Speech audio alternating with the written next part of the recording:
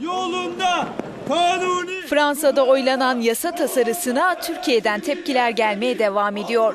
Bugün İstanbul'da yine protesto gösterileri vardı. Beyoğlu'ndaki Fransa Başkonsolosluğu önünde toplanan yaklaşık 150 kişilik Saadet Partisi üyesi grup Fransa aleyhine slogan attı.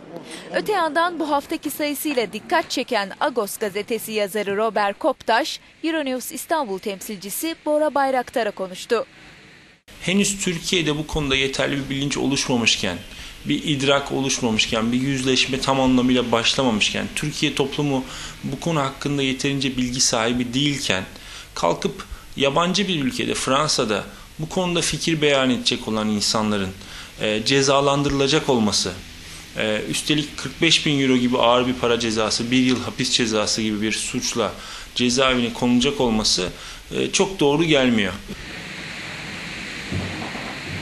bu mesele üzerine bizim Türkiye'de özgürce konuşmamızı, tartışmamızı engelliyor. İnsanlara bu meseleyi anlatabilmemizi, toplumla diyalog kurabilmemizi engelliyor.